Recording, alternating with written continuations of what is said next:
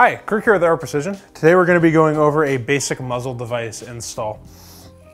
So for this, we're going to have our muzzle device. In this case, it's going to be a VG6 Gamma and 556, as well as the supplied crush washer. Most standard muzzle devices you will purchase will come with some sort of crush washer, but if it requires the use of one and it doesn't come with one, you're going to need to get one.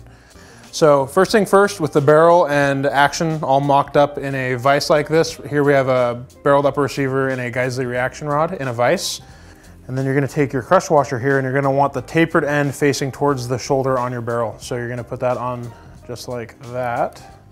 Then you're gonna take your muzzle device and you're gonna wanna turn it clockwise on your barrel threads to tighten it down. And for this portion of it, we're just gonna get it hand tight. So get that nice and snug on there just like that. Once your muzzle device is nice and hand tight, you're gonna come at it with some sort of armorer's wrench. Uh, in this case, we're using a Brownells AR15 armorer's wrench.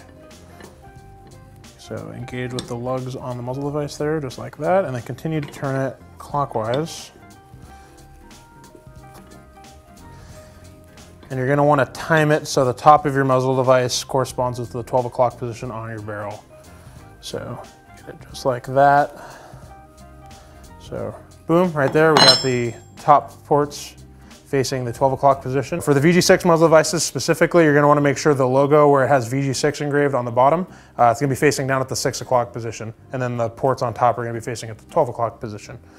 So from there, you're good to go. If you haven't installed your handguard on your barrel nut yet, uh, go ahead and do that, or you can do this with the handguard already installed. To shop our selection of VG6 muzzle devices or for more information, please visit us at aeroprecisionusa.com.